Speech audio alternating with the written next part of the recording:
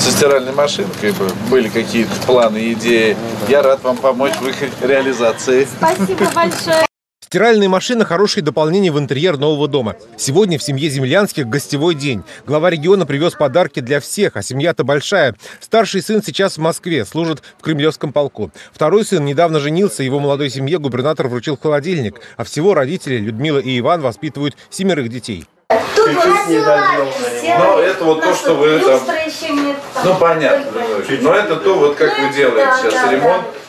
До недавнего времени землянские жили в десятером в трехкомнатной квартире. Папа, мама, семеро детей и пожилая бабушка. За помощью в улучшении жилищных условий в прошлом году они обратились к губернатору. Дмитрий Азаров поручил выделить средства, которые вместе с материнским капиталом позволили приобрести большой дом. Новое жилье выбирали очень внимательно, так, чтобы у каждого была своя комната, во дворе подсобное хозяйство, а рядом речка, куда всей семьей ходят рыбачить.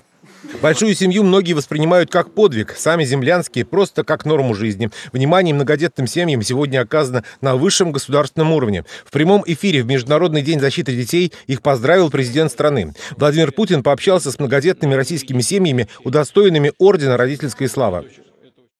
Нам постоянно помогает наша соцзащита, наша глава нашего города помогает, интересуется нашей жизнью. Также помогают и как вот как раз Азаров нам подарил дом, вот эту субсидию такой шикарный. У нас теперь у каждого почти ребенка есть своя комната.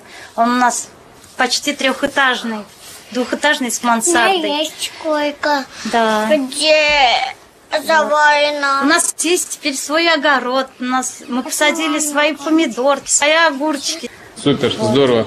Приятно, что э, в Сызрани, в э, Самарской области с таким вниманием относятся к таким семьям, как, как ваш. Вам всего самого доброго. Будьте здоровы. Спасибо.